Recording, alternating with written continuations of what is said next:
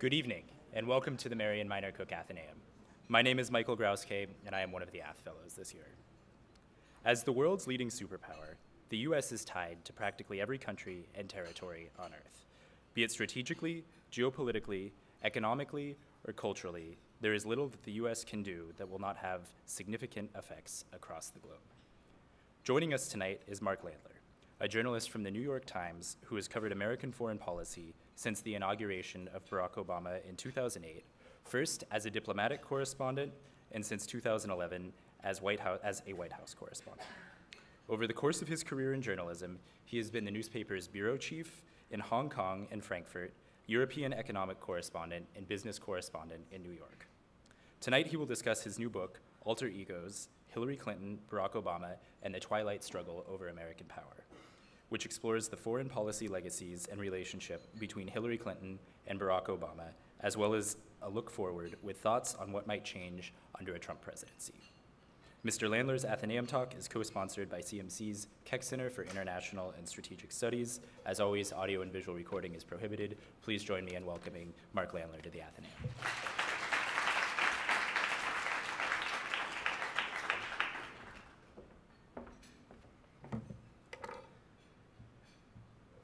Uh, thank you very much, Michael. Uh, and uh, thank you also to Minxin Pei for inviting me to speak. Um, Minxin has been a, wise and thoughtful uh, source for me on China and, and Asian affairs for many years, um, but our relationship has been purely over the phone, and uh, we hadn't met face to face until this afternoon. So it, it's terrific to finally meet you, um, and it's great to be at Claremont McKenna. Um, as some of you know, uh, I have a colleague and a friend on the White House beat at the New York Times, uh, Michael Shear, who's a graduate of this school and who I think just spoke a couple of months ago at the Ath. Um, so, for those of you who listen to his speech, um, I apologize in advance for um, any redundancy. We actually do quite the same job, um, and I can explain a little bit about the structure of the New York Times. There's four of us who cover the White House, uh, and we tend to have uh, our own lanes of expertise. I focus on national security and foreign policy. Uh, Mike tends to focus a lot on immigration, gun violence, uh, and domestic policy. And then we have two other colleagues who do healthcare and, and other things. Um, but Mike and I have very much had the same experiences, and I think he's probably talked about some of them with you tonight. Um, uh, I wanted to um, also, thank you for including me in the tradition of the Ath. Um, this is uh, obviously a, a, distinguished institution. The list of speakers was daunting when I looked it up. Um, and it's clearly an amazing perk for students um, who can virtually use this as their meal plan. Um, I mean, uh, if this had been open to me in college, uh, it would have beaten the, um, the Marriott Corporation that catered our food. Um, I'm not one of your big name speakers, um, but I hope that uh, I can give you a flavor over the next um, 30 minutes or so um, of how I see the foreign policy legacy of Barack Obama um, and his Secretary of State Hillary Clinton, and what I expect um, from the next president of the United States, Donald Trump. and let me just pause here to acknowledge one fact. I never expected to utter the words President Donald Trump. Um, when I was sitting in the newsroom of the New York Times on election night, um, I was as stunned as everybody else to see Donald Trump edge ahead of Hillary Clinton in Florida and then North Carolina, Michigan, Wisconsin, and finally, incredibly, in Pennsylvania, where Clinton held her last rally with 25,000 people and Bruce Springsteen and John Bon Jovi uh, on the lawn in front of Independence Hall. Um, this was, by all accounts, one of the great political upsets in American history, uh, one that will be studied, debated, and dissected for years. And I can't honestly um, explain to you the mood in the newsroom of the Times that night. Um, we had been so certain of the different outcome that we had plated a, a front page with a banner headline that said Madam President. Um, and we also had invited Facebook to record our newsroom live on election night so people could watch the New York Times go through the process of reacting to an election. And it was, it was almost like, um, you know, having live coverage of the Titanic, because halfway, halfway through the evening, uh, reporters became ashen faced when they realized that not only was that front page going to have to be ripped up, but the entire 12 page special section on the life of Hillary Clinton and the Clinton agenda was going to have to be uh, completely tossed out. Um, and, you know, candidly, we had done very little on Donald Trump. Um, we had covered his campaign, but we didn't have a 12 page section on the Donald Trump presidency. So at 9 o'clock on that Tuesday night, we sort of started from scratch and uh, put out a newspaper um, that tried to take account of this monumental earthquake in American political history. Um, it's obviously an election that's going to be debated on several levels. One is the nature of political polling, um, which utterly failed to predict this outcome, and, and in fact, consistently predicted the opposite. I think one of the things that all of us at the Times were a bit chagrined about was our political barometer, which switched in the course of the evening from 85% Hillary victory to 95% Trump victory. Um, and then also just the nature of, of mainstream journalism, of how we covered the campaign itself. Did we fail to see the anxiety and anger among the, the white uh, working class, but not just working class, uh, some more educated folks who voted in larger than expected numbers for Donald Trump? Uh, and then, of course, there was the growth of uh, more fringe forms of media that played a big role in this election, uh, whether it be Breitbart News, which of course has close links to Donald Trump's camp, uh, or the whole industry of fake news, um, this conspiracy minded stream of news that's now carried on Facebook and has become extremely popular and powerful with people. Um, I'm happy to discuss any and all of those issues during the Q&A. Um, what I'd like to do, uh, just in my prepared remarks, is talk about how I became interested in the subject of presidents and the uses of American power overseas, and what my particular vantage point is for writing about it. Um, as a reporter for the New York Times in Washington, I had uh, the, the good fortune of covering uh, Hillary Clinton's first two years as Secretary of State and then Barack Obama's last six years as president. And, uh, and I'm one of the few people that I think was able to cover these two supremely compelling figures in these jobs back to back. Um, I traveled to 43 countries with Hillary Clinton. Um, I traveled to about a dozen countries with President Obama. Um, many of these trips were memorable. I'll share just a couple with you to give you a flavor. And again, Mike may have done a bit of this a couple of months ago. I uh, was able to go with President Obama on a secret trip to Afghanistan, uh, by which I mean we were all brought into the White House a few days in advance and told about this trip, and then told we could tell no one about it except maybe our immediate boss and our spouse. Um, and then when uh, the trip was time to leave, we, we drove to a, a very far distant corner of Andrews Air Force Base uh, at about midnight, and we got on Air Force One, which had all its lights turned off uh, and it took off in the middle of the night, landed in Afghanistan also in the middle of the night. Um, for security reasons, President Obama's entire visit to Afghanistan had to occur um, during nightfall. So we landed at around 11 o'clock in the evening, and then we flew from Bagram Air Base to Kabul in Black Hawk helicopters, again with all the lights turned off, the pilots wearing night vision goggles, um, flying through the uh, Hindu Kush, basically, and there was, you know, a little bit of light in the sky from moonlight, so you could see outside these darkened windows jagged peaks rising up around you, and it was one of those moments where I was really glad that, um, you know, Marine helicopter pilots are so good at what they do. Um, then we land in Kabul. We have, um, the president has a midnight 1 a.m. meeting with the president of Afghanistan, Hamid Karzai. He comes out, he holds a news conference. We fly back to Bagram Air Base, again under darkness. We arrive there, uh, but the schedule has slipped a little bit a half an hour here, a half an hour there. And by the time we get back to Bagram, it's coming on about 4 o'clock in the morning, and President Obama still needs to give a nationally televised address, which he's going to do from a, a hangar at the airbase. Um, and the uh, Secret Service come up to the reporters beforehand and they say, listen, um, it's going to be dawn in about 45 minutes, and this plane has to take off before the sun comes up. So as soon as the president's done talking, you all need to run across the tarmac and get on Air Force One. And if you linger and wait, we will close the door and leave you behind. So as soon as the president was finished, we grabbed our laptops, ran across the terminal uh, and across the tarmac.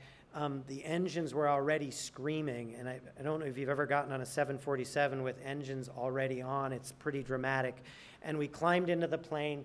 They slammed the door shut, and we were taxiing within 20 seconds. So travel with the president is not always that exciting, um, but that's one of the memorable ones that I remember. Um, through the course of these years of covering Hillary and, and, and Obama, I became intrigued in the differences between how they viewed the uses of American power, um, where those differences came from, and how those differences flowed through the great war and peace debates of Obama's first term. And so I wrote a book about this. I mean, the title is Alter Egos Hillary Clinton, Barack Obama, and the Twilight Struggle Over American Power, um, which came out last April. Um, I would have sold a few more copies of this book had Hillary won two weeks ago. Um, but you know, those are the risks you take when you get into the book writing business. There are, however, a bunch of copies sitting outside, and um, I think the book still stands as a as a useful record of President Obama's foreign policy legacy, and I think it helps frame the challenges and priorities uh, that President Trump will face after he takes the oath of office next January. Um, during this past year, I didn't cover the campaign. I continued to cover the White House. Um, but I did follow uh, Hillary Clinton's foreign policy message very closely, and I also covered Donald Trump's message, uh, his foreign policy message. I covered his first foreign policy speech, which was um, at the Mayflower Hotel in Washington back in April. So I think I've developed a fairly good sense for where he is coming from on some of these issues. Um, I say fairly good because it's difficult to decipher and categorize all of Trump's pronouncements about America's role in the world. Um, as any of you who've watched TV over the last year know, Donald Trump has a way of being all over the map on issues, whether it's building a wall on the Mexican border, uh, whether it's scrapping Obamacare, whether it's waterboarding suspected terrorists. Uh, and that's true, too, of his views on foreign policy. There is, however, a unifying principle to what Donald Trump believes, and it can be summed up in a simple phrase not make America great again. Um, actually, the phrase is America first. I'll explain in a moment what, what that means and what I think it means in terms of his foreign policy, but I want, would like first to talk a little bit about Obama and Clinton, their relationship, which I think helps frame the mainstream debate over the role the United States should play in the world. And so let me start by making one thing clear. I don't view Clinton and Obama as being on opposite poles of the debate about foreign policy in the United States. They agree, I think, fundamentally on more than they disagree on. Both prefer diplomacy to brute force. Both reject the unilateralism of the George Bush years. Both are lawyers who want to preserve the rules based order of the post World War II period. But as that order has begun to fracture, and I think it really has in the past few years, Clinton and Obama have had very different instincts about how best to save and preserve it. Obama is fundamentally more suspicious about the wisdom of American intervention abroad and the wisdom of using military force. He also defines American interests more narrowly than virtually any of his post World War II predecessors. George Bush once said that the American writ reaches into the darkest corners of the world. Barack Obama fundamentally doesn't believe that to be the case. Clinton, on the other hand, believes that the calculated use of military force is vital to defending national interests and that America can be a force for good in the world. She is, in the words of one of her aides, a textbook American exceptionalist. I think she would subscribe to George Bush's argument that the American writ does extend into the darkest corners of the world. I argue in my book that these worldviews are rooted in the respective childhoods of Obama and Clinton.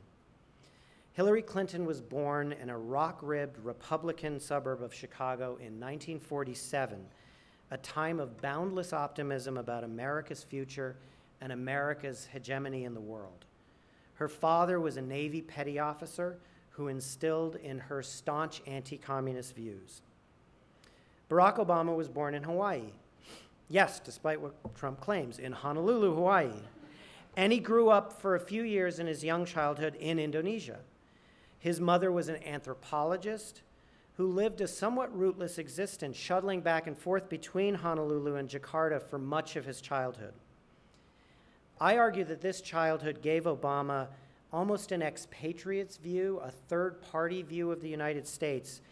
The way I phrase it in the book is that I think Obama looks at America from the outside in, Hillary Clinton looks at America from the inside out. Obama saw firsthand the unsavory alliances that the U.S. struck with companies and strongmen in places like Indonesia. And he developed a fundamentally jaundiced view of the role America plays, particularly in post colonial countries. In his college years, I met the president of Occidental earlier. He spent his freshman and sophomore year at Occidental.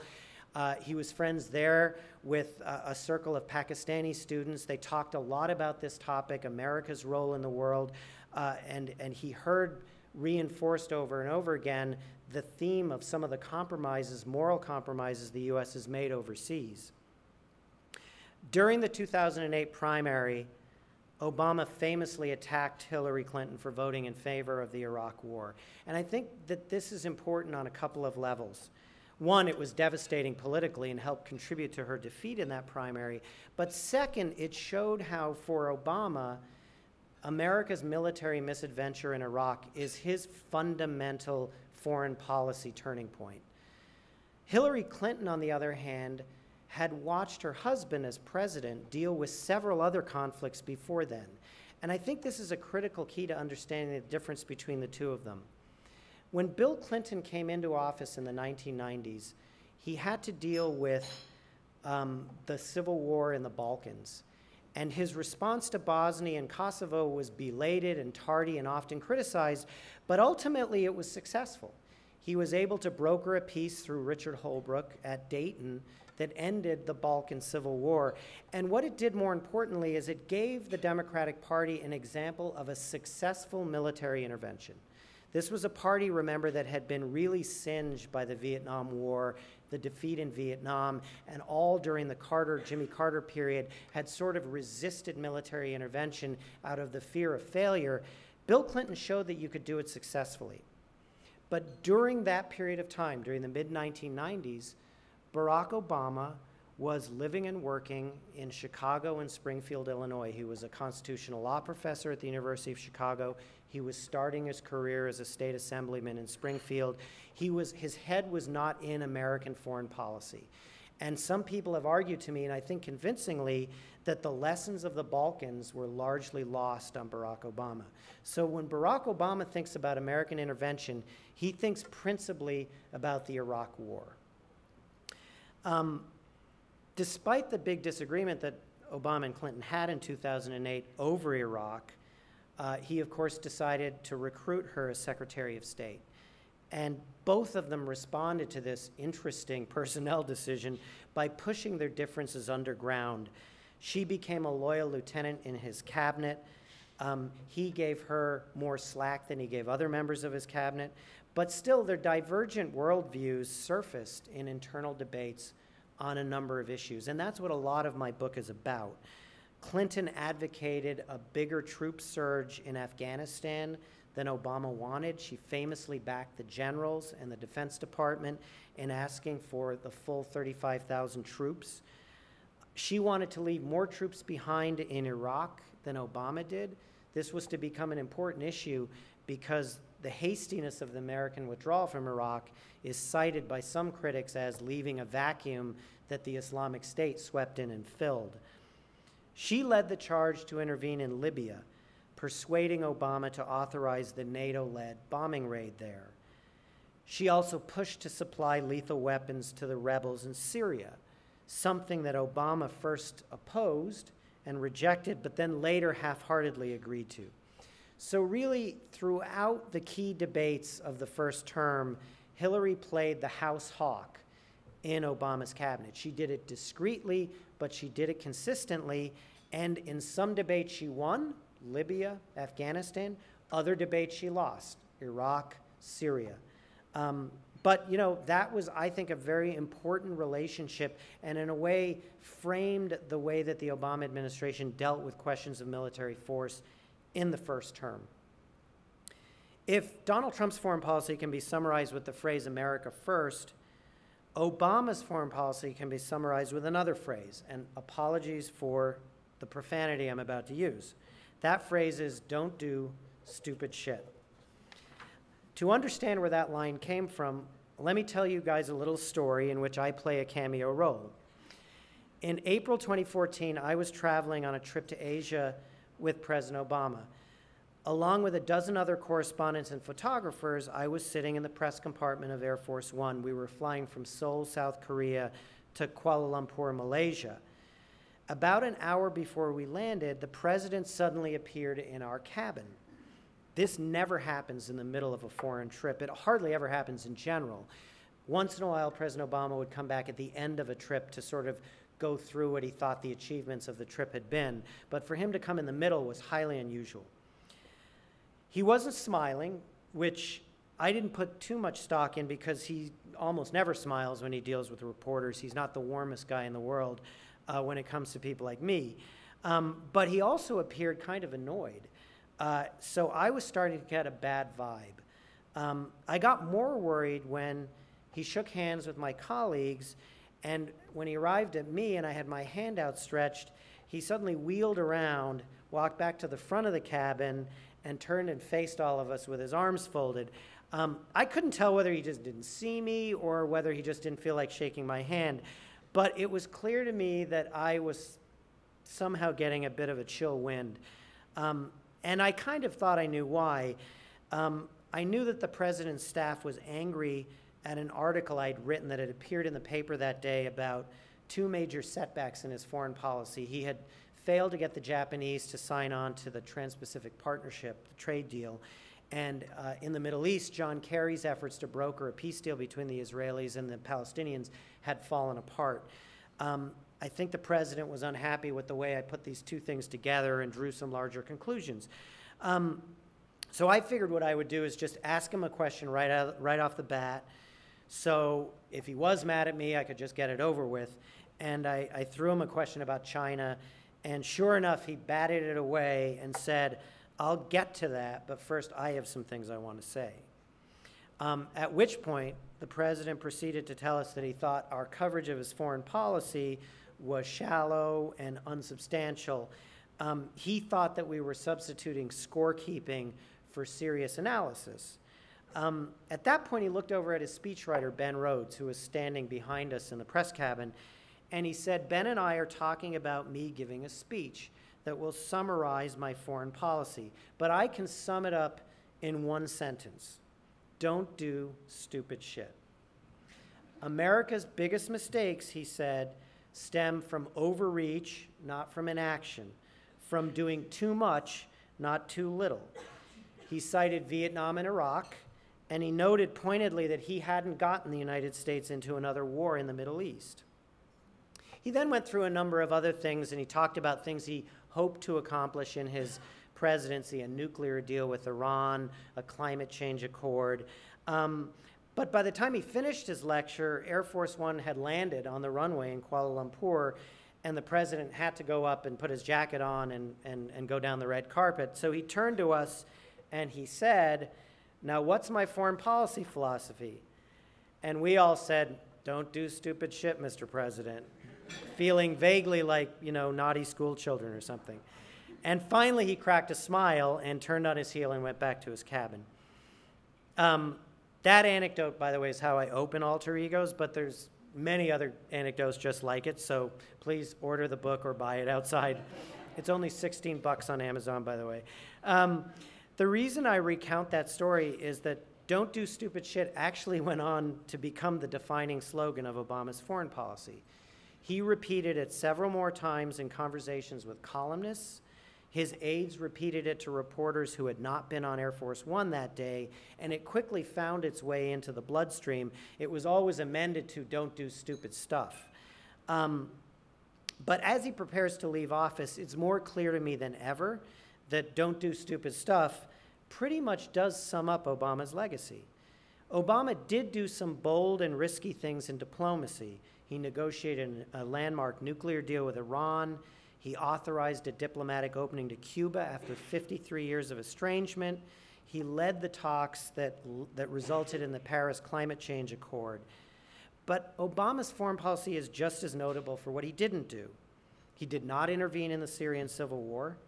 He did not precipitate or escalate a confrontation with Vladimir Putin over Ukraine or Syria. He tried with varying degrees of success to wind down the wars in Afghanistan and Iraq. The question now is whether Donald Trump will continue in his cautious tradition or radically change course. Will he, in short, do stupid shit or not?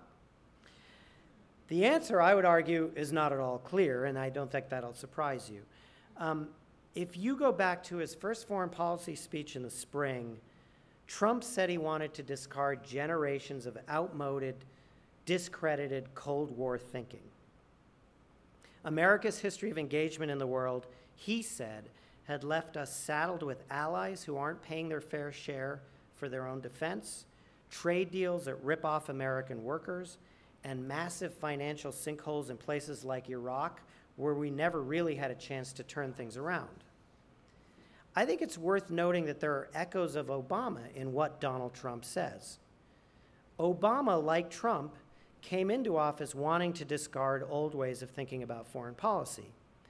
Obama, like Trump, distrusts the foreign policy establishment. Obama has said that they got us into one quagmire after another. Language that's very close to what Donald Trump says. Obama, like Trump, thinks that some of our allies are free riders who rely on us to pay for their defense and give us nothing or little in return. But that's where the parallels end. Obama still believes that the United States needs to play a leadership role in the world, whether it's hammering out a nuclear deal with Iran or rallying China and India behind a global climate change accord. Trump does not evidently believe in those things. America first for him means precisely that that the United States should make every decision based on a ruthless calculation of its own interests. That means asking our allies in East Asia to pay more of the U.S. cost for maintaining military deterrence in that region. At one point, Trump even suggested that the Japanese and the South Koreans should consider making their own nuclear weapons so they didn't have to rely on the American nuclear umbrella. It also means asking our NATO allies to ante up more for the cost of defending Europe. Never mind that the Obama administration has been trying to do that for years. And it raises fundamental questions about how committed the United States will be to NATO and its fundamental principle, which is the mutual defense of any member state that comes under attack. And among the most nervous places in the world right now have to be the Baltic republics, Estonia, Lithuania, and Latvia, who I think have reason to worry that if Putin begins to push and destabilize them, that they can't count on NATO as reflexively as they could have, say, five years ago. It also means taking a zero sum view of our relationship with adversaries like Russia and China. Trump has famously praised Vladimir Putin as a strong leader. He says he wants to reset relations with Russia, sort of ironic given that that's what Barack Obama came into office wanting to do. But no one is exactly sure how this will play out. It's plausible to foresee Russia consolidating its position in Syria and creating a new sphere of influence over the former Soviet states in Central and Eastern Europe. Finally, Trump's America First philosophy means shunning the role of global convener. This is something that Obama talked about a lot, and it was a role he really liked to play. That the U.S. was really the country that could convene the world to tackle a tough problem, whether it was the Ebola virus in West Africa, whether it was climate change, whether it was nuclear proliferation. Obama really saw the U.S. as kind of setting the table for global solutions. Trump clearly has no plans to play that role. He, he says he'd rip up the Iran deal because it's a bad deal for America. He says he would pull out of the Paris Climate Change Accord Though I will note that last week he came to the New York Times and said in an interview he would keep an open mind about that. In sum, Trump has very little interest in an American led liberal world order. If you were to frame this in geopolitical terms, his view of America is closer to sort of classic 19th century nationalism. In economic terms, it's closer to mercantilism. He's threatened, for example, to impose a 45% tariff on Chinese goods, an action that, if he went through it, it would almost certainly set off a trade war with China. I wanted to mention a funny aside about the phrase Amer America First. Trump embraced this during his campaign as his foreign policy equivalent of Make America Great Again. But he didn't actually come up with the line himself. It was suggested to him during an interview conducted by one of my colleagues at the New York Times, David Sanger. And Trump just liked the line. He clearly glommed onto it. So the next time you see Trump tweet about the failing New York Times, which he does about once a day, remember that's where he's getting some of his inspiration. What Trump may not have realized when my colleague used the phrase America First is that the roots of this phrase date back to the isolationism of Charles Lindbergh in the years leading up to World War II. This is a really historically freighted phrase, and I think it actually takes an almost ahistorical sense to embrace it uh, and champion it, not realizing what it truly means. America first can really easily translate into America alone. Trump has said he has no time for the nation building that preoccupied George W. Bush in Iraq. He said repeatedly during the campaign that he actually opposed the Iraq War from the very start, although the public record on that clearly contradicts him. And contradictions flow throughout Donald Trump's foreign policy. He says he will avoid the next Iraq War, but he also says the United States should bomb the Islamic State back into the Stone Age. He says he won't repeat the mistakes of his predecessors, but he also said during one of the Republican debates that he would consider deploying 20,000 to 30,000 ground troops into Syria and Iraq since he had heard from a general that this was the best strategy to defeat ISIS. One thing is clear Donald Trump really likes talking to generals. He's named one of them as his national security advisor, Lieutenant General Mike Flynn. He's about to name another as his defense secretary, General Jim Mattis. He's considering two others to be his Secretary of State, General David Petraeus and General John Kelly. It's quite likely that the Trump administration will have the most military heavy cabinet of any in recent memory. Now, this raises all kinds of questions about civilian military control. But I have to say, I mentioned this to a very senior official in the Obama administration the other night, and he said, This isn't the worst thing in the world because generals tend to understand the risks and stakes of taking military action more than most people. And this gentleman pointed to the generals who served Obama. They opposed the military intervention in Libya. They favored staying out of Syria. They were, in some ways, uh, key advisors uh, in helping President Obama pursue the restrained foreign policy he's pursued. So just naming generals doesn't mean you're going to end up with a warmongering administration. But it's also true that stacking his military, his national security bench with retired generals would deprive Obama of other perspectives, be it traditional diplomacy, economics, or development. And there's also a danger that generals tend to fight the last war. Lastly, Trump, with no foreign policy experience of his own, may find it difficult to resist the Council of Generals on every issue. And I found it very telling that after the meetings he's had with General Mattis, General Petraeus, General Kelly, he's tweeted each time, was so impressed by my meeting, was so impressed to meet the general. He hasn't done that with anybody else. None of the civilians that have come in to see him, whether it was Nikki Haley or Mitt Romney, he has not been this uh, sort of flattering in his assessment. So something about generals really resonates with Donald Trump. I have a personal theory, I haven't proved it out, that uh, one of the formative experiences in Donald Trump's life was going to military academy in high school. It made a big impact on him, and I think he views military um, commanders as authority figures. Um, I think it's foolish to predict any president's, any new president's foreign policy. Um, Obama came in promising to end the wars of George W. Bush and shut down the military prison at Guantanamo Bay. Gitmo is still open, as we know, and the U.S. still has troops in Iraq, Afghanistan, and three or four other countries.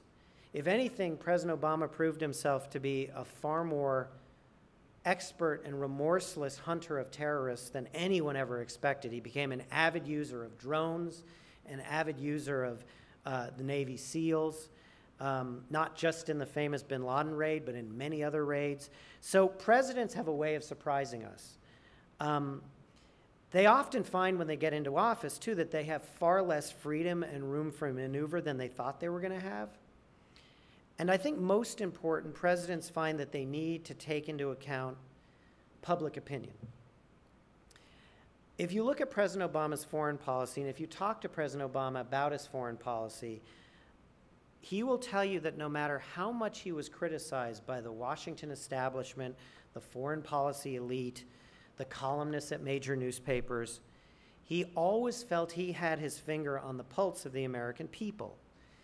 After more than a decade of war, Americans are weary of combat. They're tired of endless, expensive foreign entanglements. They'd rather focus on nation building at home than nation building overseas.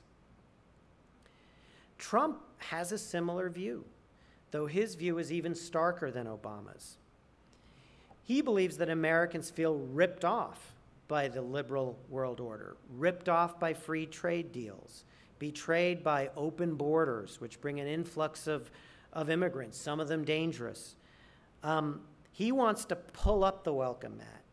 He wants to treat international relations not as a collaborative exercise, not as a, a, a convening of countries the way Obama would, but as a business transaction where every single transaction has to work for the United States. I think one thing we all have to acknowledge about Donald Trump is that he read the frustrations and anxieties of Americans better than any of us thought he would, and well enough that he's riding it all the way to the White House. As he decides on America's role in the world, he will surely channel what he feels are the views of Americans, his voters. Whether that means the end of the American led liberal world order, I think is going to be the defining question of the Trump presidency. And with that, I thank you very much, and I'm very happy to take all of your questions.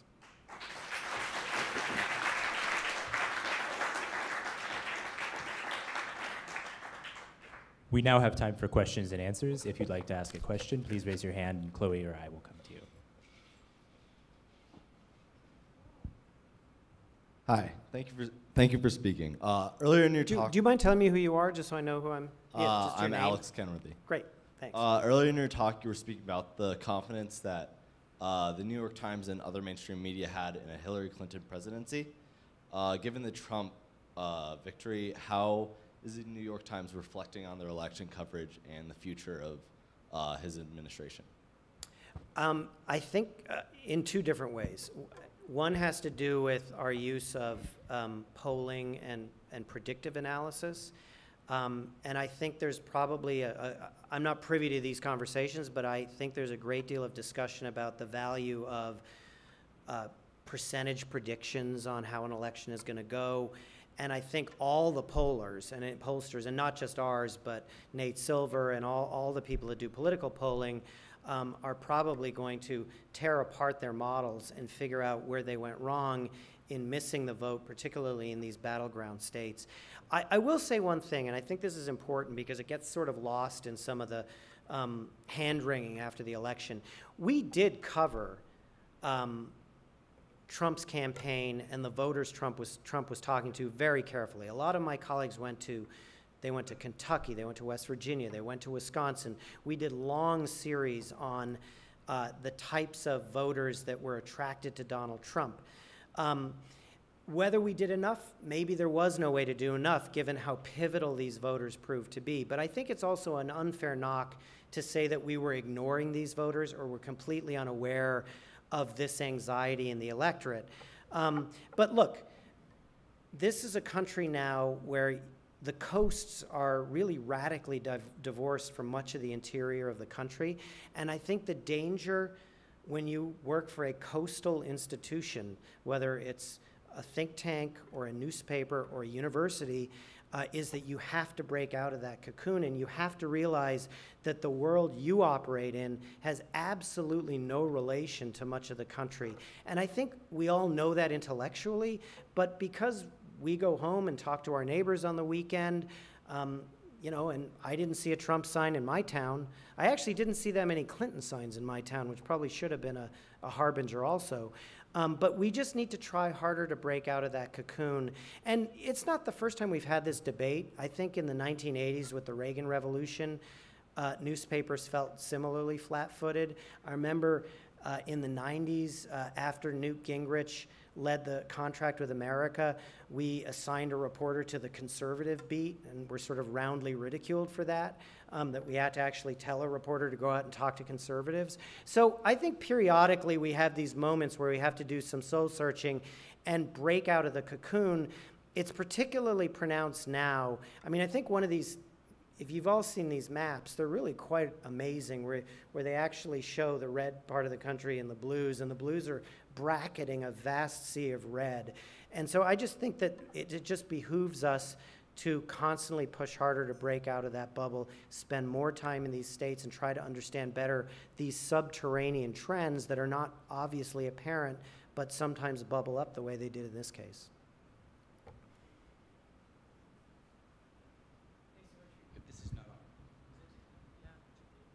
Is it on? There we go.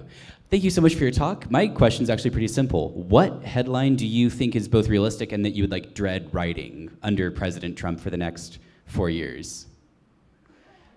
Wow. Uh, I'm predicting the future is dangerous. I mean, what headline? um, look, I think some variation of a headline that says that Trump's first 100 days are uh, lively, chaotic, unpredictable, messy. I mean, I say that only because the first three weeks have been lively, chaotic, unpredictable, and messy. And I think that's the way Donald Trump's going to govern. I think that's the way he ran his businesses. That's the way he's conducted his showbiz career.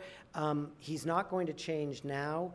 Uh, he likes having people below him engaged in kind of open rivalry, even open warfare. Uh, so I think some variation of a chaotic White House is a headline we're likely to see. The headline I don't want to see is U.S. in sudden, very serious confrontation overseas, because I think that of all the dangers of a Trump presidency, the geopolitical risk is the one that, that worries me the most, uh, partly because he's taking over at a pretty dangerous time. Um, I think that the uh, nuclear situation in North Korea has gotten significantly more serious in the last couple of years, um, and I think North Korea is a looming crisis. I think that he's going to have to do something to change our posture in Syria, but that's going to be very difficult. It's very difficult to do that without coming into conflict with either the Russians or the Iranians. Um, I think the Chinese are potentially a conflict point in the South China Sea, particularly if they decide that a Trump presidency gives them license to behave more aggressively. And each of these um, are, are very difficult issues to manage, even for a veteran national security team. Um, he's got some people that he's hired. I think Jim Mattis, for example, would be a very steady hand. He's been through all these things. I think he'd be he'd offer wise counsel. Um, I think some of the names that have been floating around for National Security Council give you a little more pause. They have less experience. They're more strongly ideological. And so that's the headline I don't want to write or see written. the chaotic Trump White House headline, I think, is likely. And, you know, that doesn't have to mean failure. Um, that's a way of governing. It's a very different style than Obama. That doesn't mean you don't achieve things. Sir. Uh, hi, thank you so much for Hi. your talk. I'm Amia, and my question has to do with uh, US Cuba relations. Um, and I was wondering how you see them progressing under the new administration. I know that Trump recently tweeted about if the deal wasn't renegotiated, it would be terminated. So just kind of wondering what your thoughts on that were. Um, yeah, it's a good question. Um, there are several different levels that the U.S. Cuba relationship um, operates on. Some of them are very easy for the president to, to, to abrogate if he wants to. For example, the diplomatic relationship um, he can end with the stroke of a pen. He has the authority to do that. Um, there are a whole maze of regulations that govern things like our commercial relationship, uh, direct flights to Havana, direct mail, uh, family visiting rights, um, remittance of funds. All of these regulations have been rewritten in the last year since President Obama opened relations. And that's a very complicated administrative and legal process undoing all those regulations will be just as complicated as rewriting them was in the first place. So even if Donald Trump were to declare tomorrow, I'm severing diplomatic ties, it would take him another year to undo all the work that President Obama has done. I think a lot of people who follow this issue closely have their doubts that he'll follow through on this for a couple of reasons. One is there are already significant American commercial interests in Cuba. Uh, the first regularly scheduled flight just flew there yesterday. Um, people are building hotels there. American cruise lines are docking in Havana. Um, and who knows whether the Trump organization itself is interested in doing business in Cuba. We don't have any evidence, but they're in a lot of other countries. So it's not that easy, particularly for a businessman, to shut down a relationship uh, that's actually going to hurt people's commercial interests. Um, the other point I'd make about this is a political point. The Cuban American exile community that was so hostile to opening to Cuba is still a force. Um, don't get me wrong, they are still a force in South Florida, but they are not the force they were even a decade ago. If you look at the composition of Florida um, ethnically, um, the Latino community is now much more Puerto Rican uh, than it is Cuban American.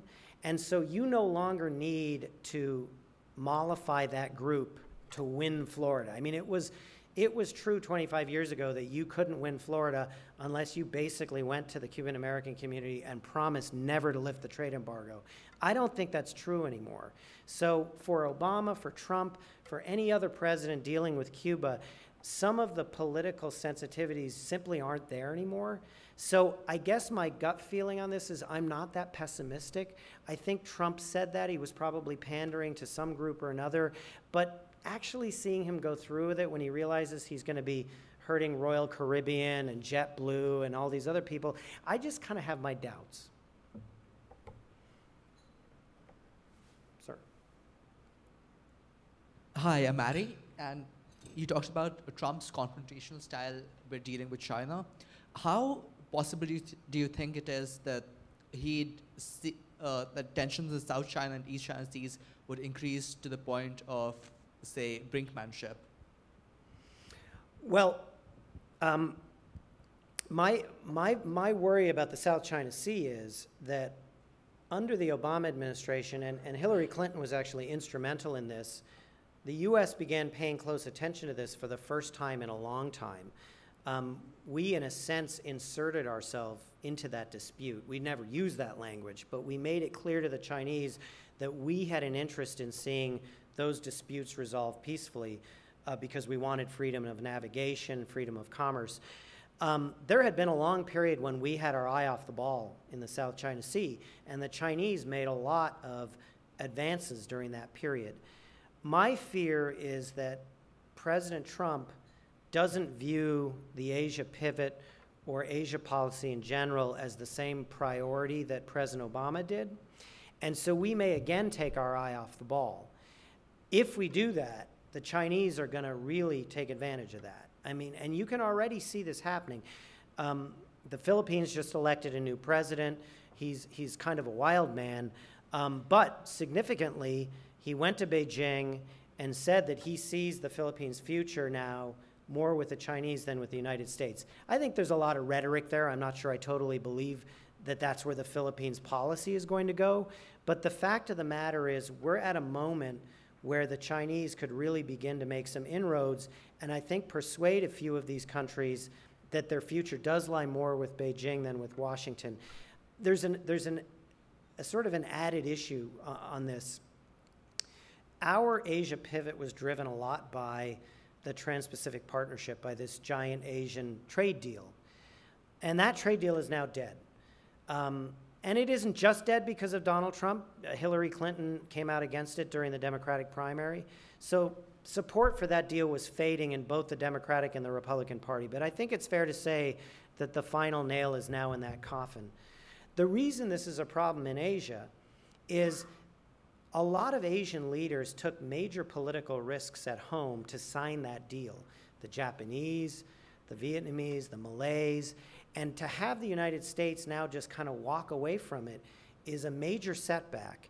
And it's a setback the Chinese are going to take advantage of because that deal, I think, was a way to bind Southeast Asia in particular, but all of East Asia to the United States. And I think lacking that deal is one more sign that the U.S. is not going to be as present in the region uh, as we were. And I think that that's, that's very problematic. And I think the Chinese who are were being aggressive even when we were there are now going to be even more aggressive.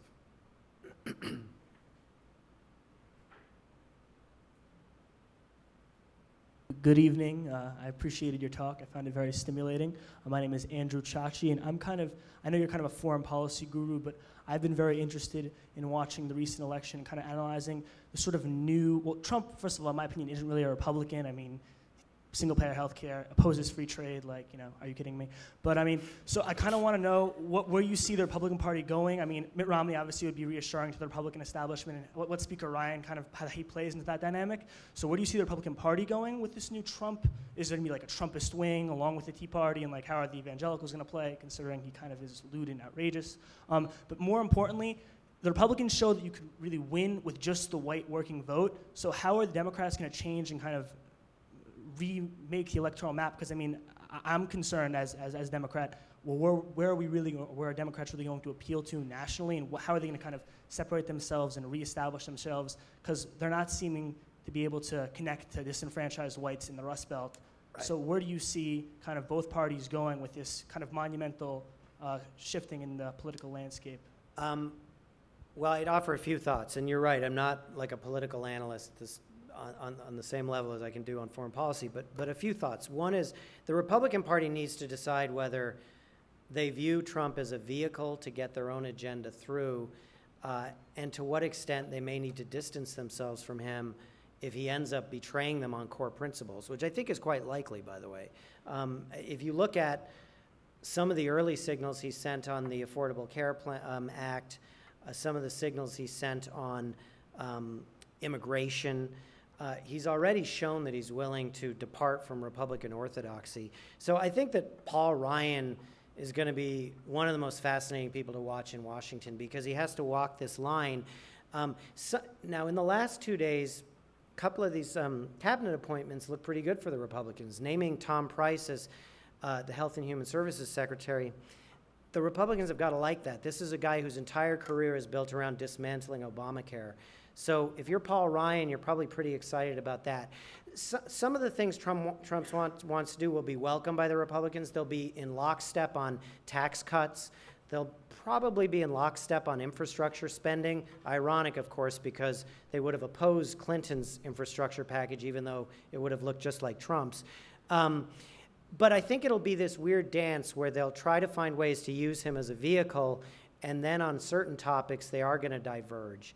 Um, on the Democratic side, uh, I think your point is a valid one. Uh, the, how they appeal to white working class voters is a huge question. They obviously felt they could paper that over because their appeal to Latinos and other minorities was going to be so massive that demographics would sort of carry them over the finish line, and that proved not to be the case. I think probably the most obvious answer to that is the progressive wing of the party is really going to be in the ascendancy. And while Elizabeth Warren herself may not run for president, someone who talks like Elizabeth Warren is probably going to be a leading candidate. And I think that all the Republican candidates are going to embrace more the progressive themes that came out of the Bernie Sanders campaign and the Warren campaign. I mean, the thing that's interesting about Trump and Sanders, it's been said many times, is that a lot of their appeal was very similar. It was about the system ripping off the ordinary person, it was about the banks being rigged, it was about the fact that no one. Uh, from Goldman Sachs ever paid a high price for the financial crisis. I was reading an interview with Steve Bannon the other day, uh, the alt right advisor to Donald Trump. And I swear, if you didn't know it was Steve Bannon saying it, it could have been Bernie Sanders. It, he, the, the, the rhetoric was exactly the same. And so I think that the Democrats have people who can deliver that message. And those are the people that I think are going to really be viewed as the leaders of the party going into the next election.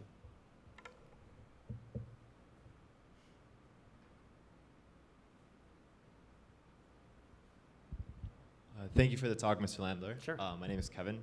Um, recently, I've been reading headlines that said like um, there's cost the city of New York one million dollars to protect Trump Tower. There have been very violent protests against uh, Donald Trump's presidency across the United States. This isn't something that's very common to the United States in regards to their presidents elects.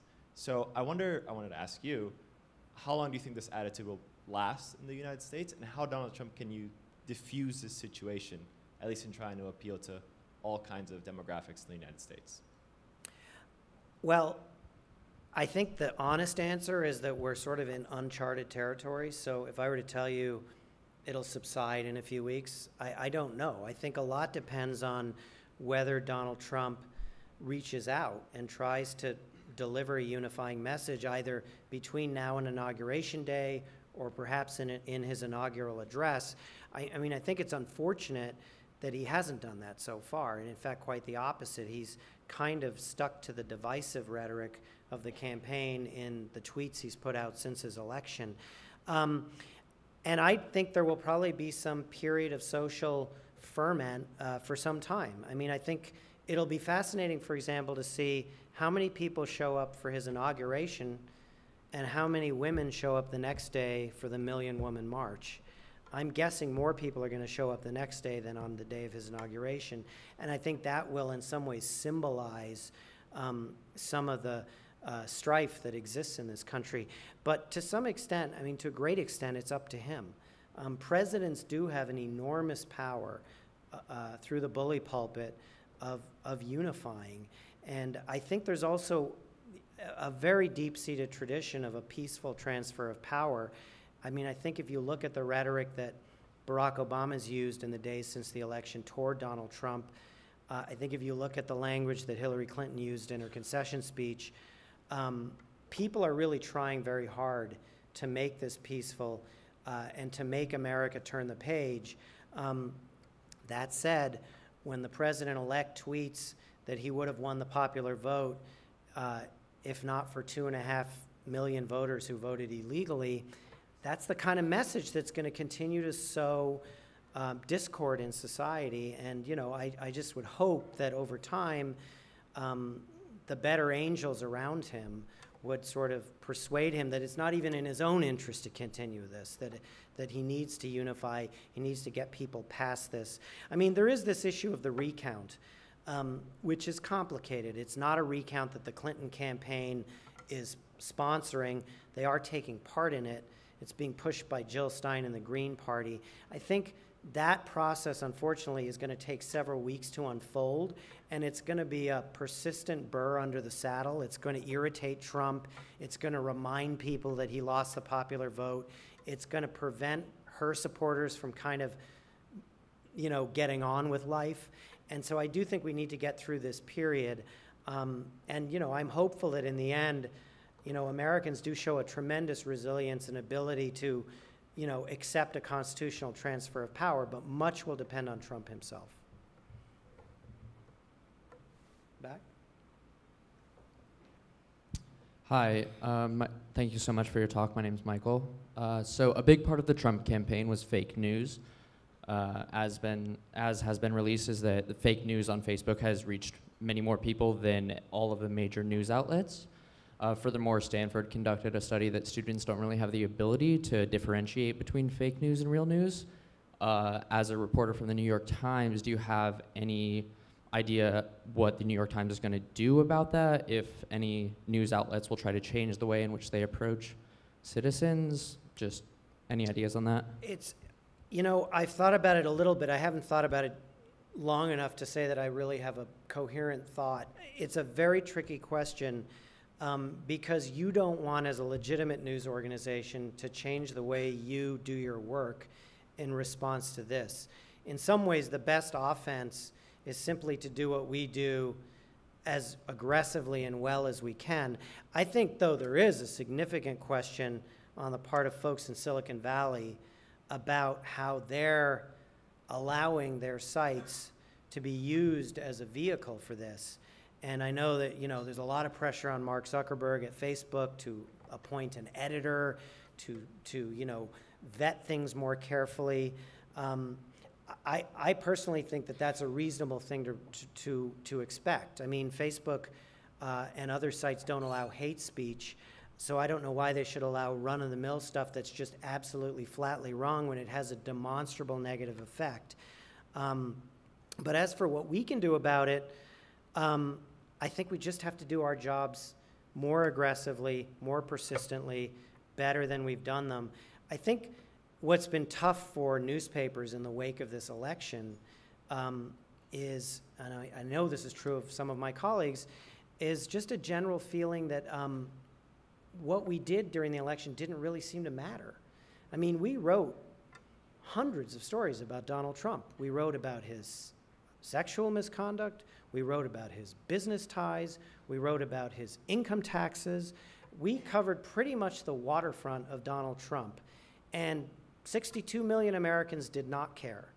Um, and, you know, if you're in the news business where ultimately the reason you get into this line of work is to hope to make a difference, it's, it's a little bit depressing to feel that you didn't make a difference, that a lot of Americans simply either didn't see what you wrote or read it and didn't care.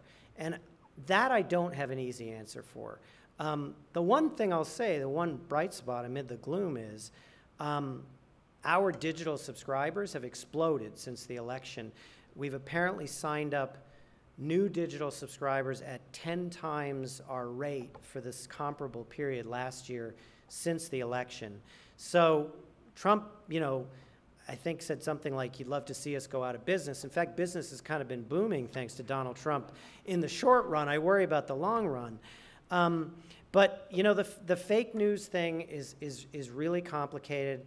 Um, it's very hard for me to see how you persuade people that are predisposed to believe this stuff not to continue to read it and particularly when the vehicles to deliver it to them are as powerful as Facebook is. I just don't think there's an easy solution short of the social media companies themselves getting involved in the process.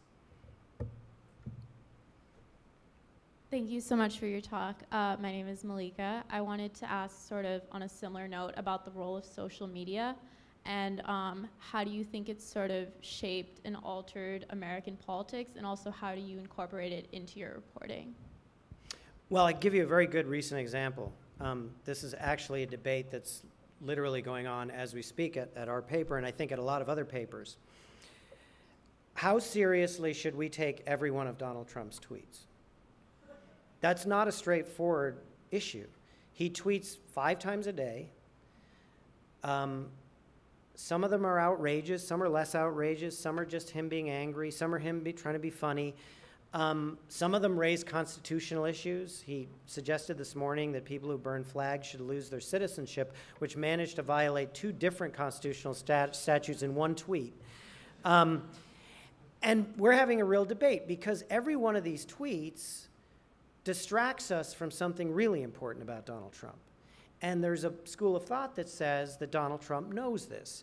so that when he tweets about, you know, uh, voter fraud, um, it's actually distracting us from writing about the fact that he has conflicts of interest in his business dealings all around the world.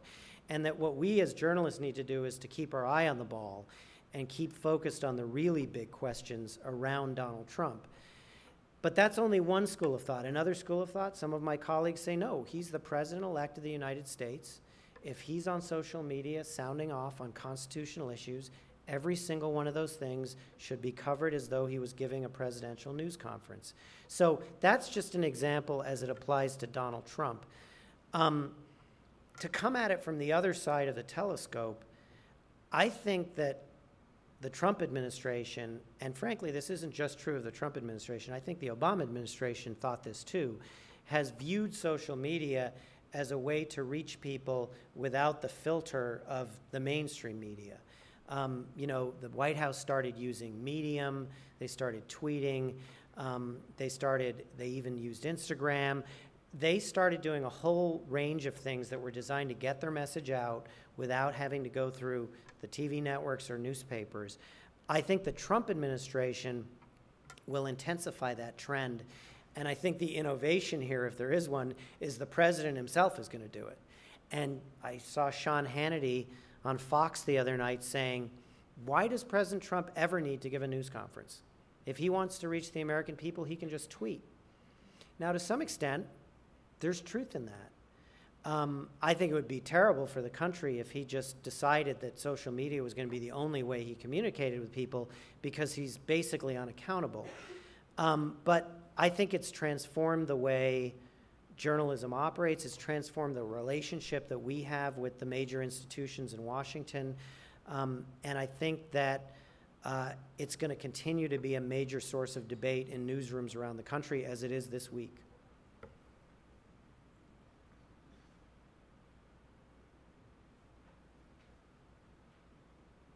Anyone else? Oh, there's one question there.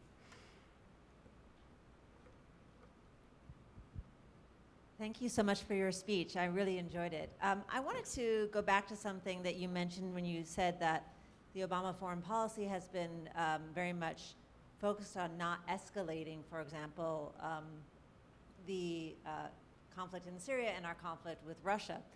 Now, in some ways, I would agree with that and I applaud it. At the same time, uh, academics are debating, you know, why is it that the U.S.-Russian relationship has declined so significantly, debating whether or not it's only in crisis or whether there's a new Cold War, as we talked about last night.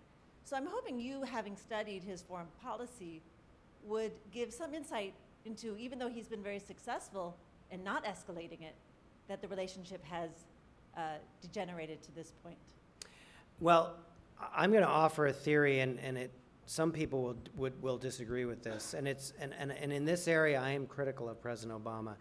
I think that President Obama made a decision in August of 2013 not to enforce his red line on Bashar Assad in Syria after the Assad regime used chemical weapons. He said, if you cross this red line, you will pay a price, there will be military consequences. Uh, and then he decided not to enforce that red line. He had a lot of reasons, some of them were valid.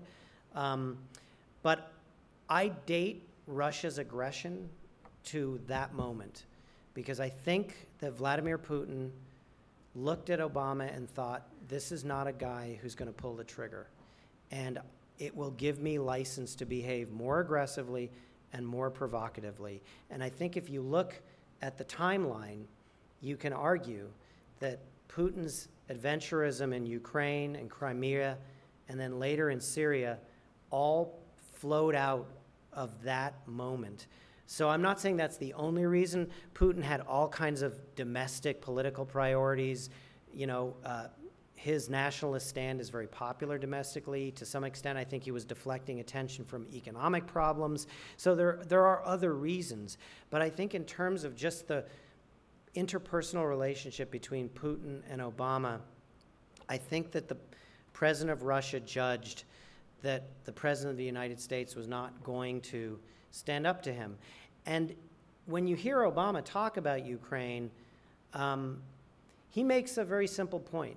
Um, he says, look, Ukraine matters much more to Russia than it does to us. So nothing I do is going to be enough to prevent the Russians from doing more. If I were to send troops to the border, he would send three times the number of troops. I think in international relations they call it escalation dominance. So Obama's argument is this is a no win. There's no way I win this confrontation. And I think he's right. I think that's a valid argument. But I also think that if Obama had followed through on his threat in 2013 on the Syrians, that President Putin would have thought twice about some of these actions to begin with. And I think that is a fair, I mean, that's one, I'm, I'm quite sympathetic to the restraint that President Obama has shown. I, I think that came through in what I said.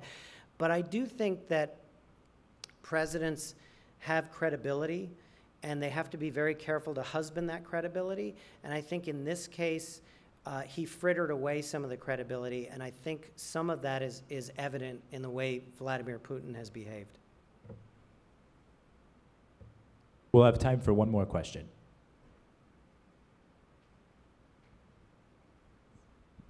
Um, thanks for a great talk. Uh, my question has to go, goes back to your uh, discussion on Asia pivot.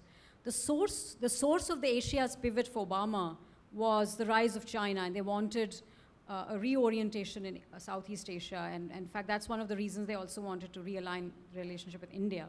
So, um, in terms of the advice that Trump is going to get, uh, do you think that that same underlying reason about the rise of China, and if there are these realignments that you mentioned, uh, which take place, then the same source could again convince the military advisors and other advisors to again focus on uh, China. And anyway, Trump has been very anti-China. So do you th think that the advice and, and also the uh, strategic opinion that Trump will face would actually make him uh, go back to Asia pivot, a slightly different one, but focus on Asia?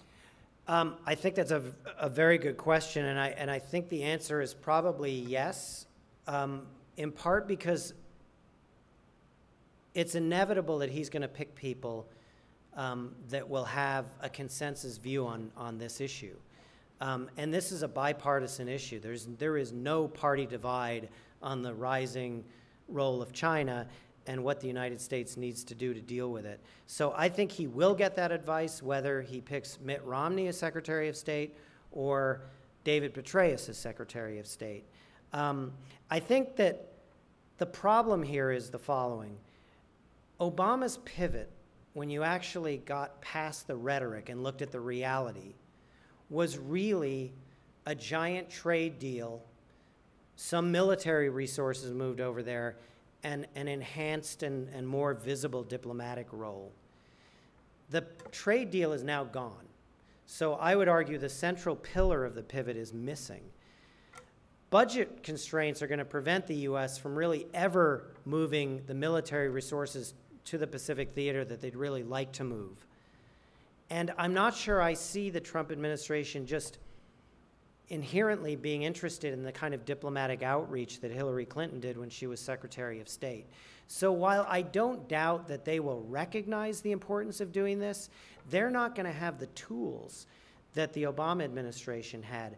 And lastly, not only is the trade deal dead, but Donald Trump ran on a kind of a trade war platform. And so if he were to follow through, as I said, if he were to follow through on a 45% uh, tariff on Chinese goods, which I don't believe he will, but if he were to follow through on that, he would find himself in such a combative position vis-a-vis China, it's very hard for me to figure out how he would even construct a pivot. It would, it would end up being a confrontation. So I do think that he'll be told by a lot of people China is important. Um, he probably doesn't need anyone to tell him that. He knows that. Um, but what I find somewhat dispiriting about it is just that a lot of really good work has been lost, particularly in the death knell of the TPP, and that makes it much more difficult to see how you relaunch the pivot and make it truly credible. We'll have for questions. Please join me in thanking Mr. Landler. Thank you all.